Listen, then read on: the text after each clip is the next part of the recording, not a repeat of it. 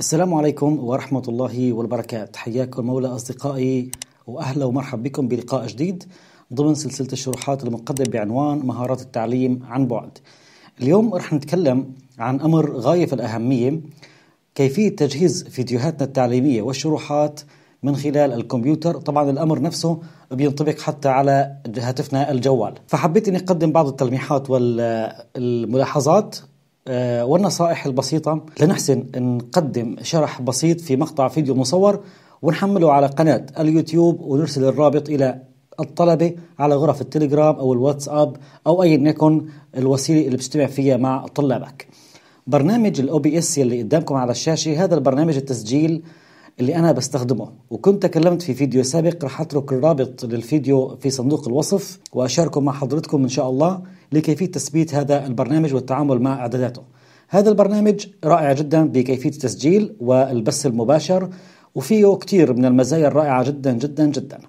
ففيك تستخدمه لتصوير الشاشة وتبدأ بالشروحات لأي درس على بالك سواء كان الدرس ملف إلكتروني PDF أو سواء كان عرض تقديمي على باوربوينت أو إذا حبيت تكتب على الشاشة اللي طلبتك وتحكي مع الصوت. راح أقدم شروحات عن الوسائل الثلاثة الآن إن شاء الله. طيب راح بعد ما أنا أشغل البرنامج وأضغط على بدء تسجيل راح نصغر البرنامج. تمام؟ وأبدأ بالشروحات.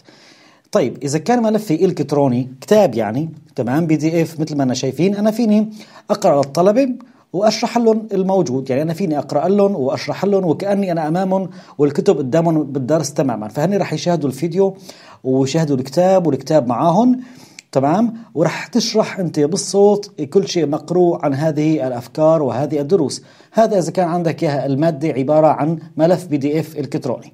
طيب أنت بطرف آخر إذا كنت عامل عرض تقديمي عرض باوربوينت تمام؟ فيك تشغل عرض الباوربوينت تمام؟ وتبدأ بالشروحات. فيك تشغل عرض التقديمي الباوربوينت وتبدأ بالشروحات وانت عم بتصور الشاشة بنفس المبدأ.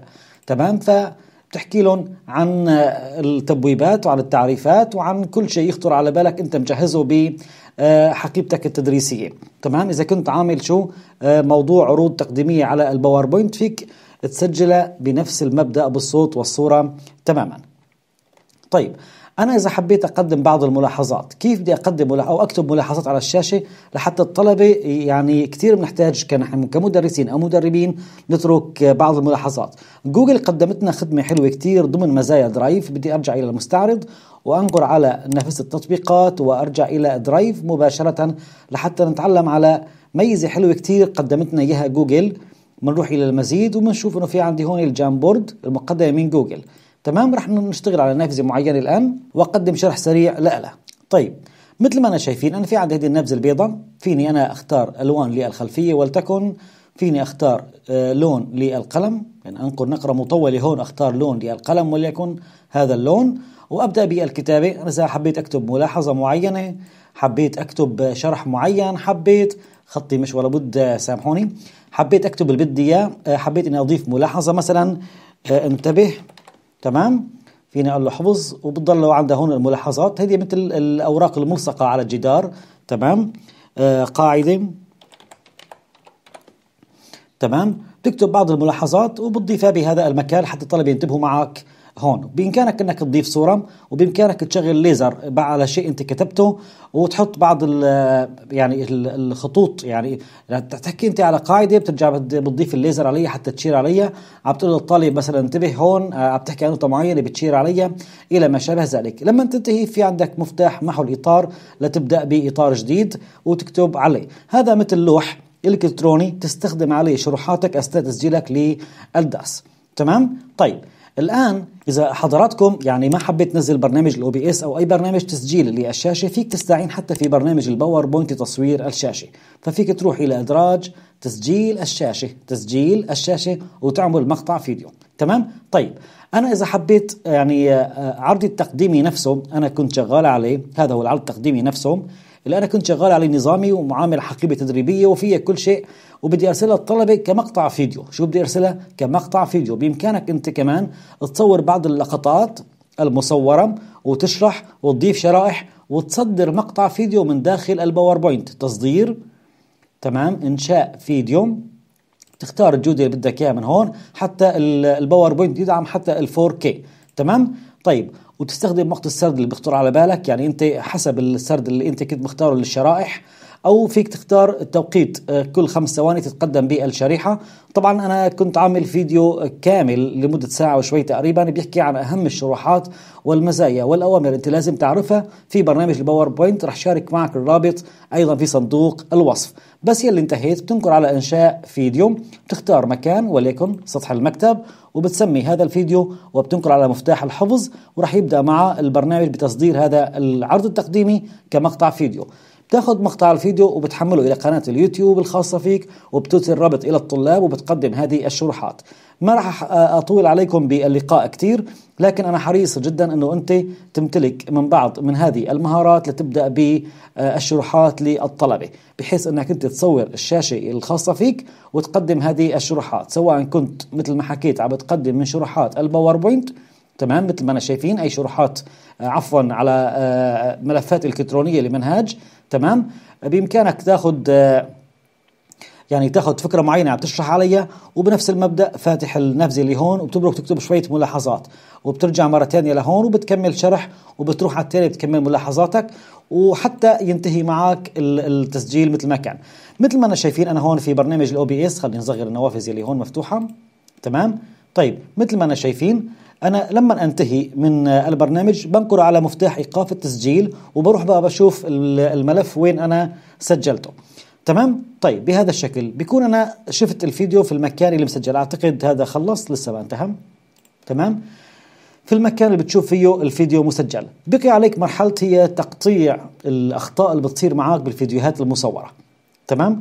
أنا راح أتمم لقاء اليوم إنه أنا كيف آه، إذا أخطأت أثناء تسجيل الفيديو أو كان في عندي محطات كلامية آه، عكيت فيها أو أنا انشغلت فيها ففي عندي لقطات يعني آه، محتاج إني أزيل مقطع الفيديو.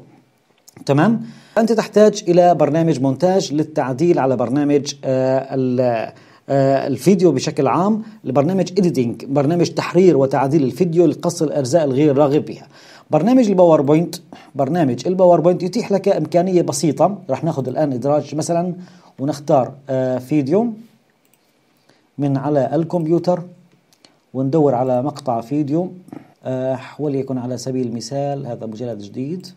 نختار أي مقطع لا على التعيين. بعد ما نزل معنا مقطع الفيديو على برنامج الباوربوينت تمام؟ انت فيك تنقر باليمين وتروح إلى اقتطاع. شو في عندي هون اقتطاع ضمن الباوربوينت. تمام؟ طيب انت فيك هون مثل ما أنا شايفين تقص آه الأجزاء. يعني على سبيل المثال أنا محتاج هذا الفيديو مثلا آه مثلا يبدأ من من نقطة معينة وينتهي عند هاي النقطة. تمام؟ ينتهي عند هاي النقطة. ففيك انت يعني تقص أجزاء آه سابقة ولاحقة فقط. ما فيك تعدل من ضمنه سابقة ولاحقة. فحتى نحل هذه المشكلة؟ أنا يعني مثلا أنا بدي بدي منه مقطعين. بالأول هون مثلا شوي وبدي بالأخير شوي. بيناتهم بدي أزيلها. شو بسوي؟ بزيل الجزئيات كلياتها اللي هون واللي هون. خلني أول شيء ألغي الأمر معلش. آه وأنشئ شريحة جديدة. وشريحه جديدة. آخذ copy paste هذه control C و control V و control V تمام. راح أجي على المقطع أنقر باليمين وأختار اقتطاع. وأقص الاجزاء اللي أنا ما بدي اياها تمام؟ أقص الاجزاء كلها اللي ما بدي إياها وقال له موافق. هي عند دقيقة وست ثواني. راح أجي على الشريحة الثانية. أنقر باليمين وأختار اقتطاع. كمان نفس المبدأ. بروح إلى الدقيقة وست ثواني مثلا. آه وليكن هون.